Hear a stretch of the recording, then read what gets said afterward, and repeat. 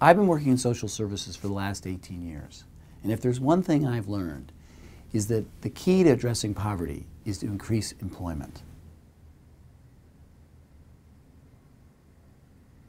The sad truth is that low-income Americans are struggling now. Poverty rates have risen, labor force participant rates have dropped, even median incomes have stalled out.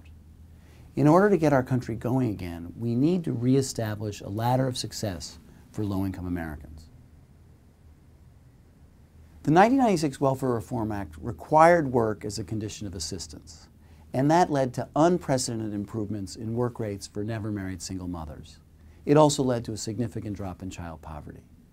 But unfortunately, many of our other social services programs don't require work as a condition of assistance, and that's a problem.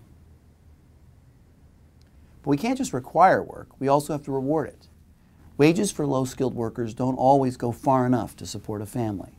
That's why policies like the Earned Income Tax Credit or public health insurance or even food stamp benefits are helpful as supports for working people. The last time we had a sustained year-over-year decline in child poverty in America were in the years after welfare reform in 1996.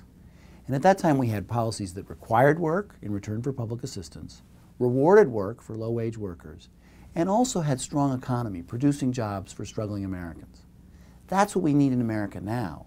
That's what we've lost, and we need to get back there.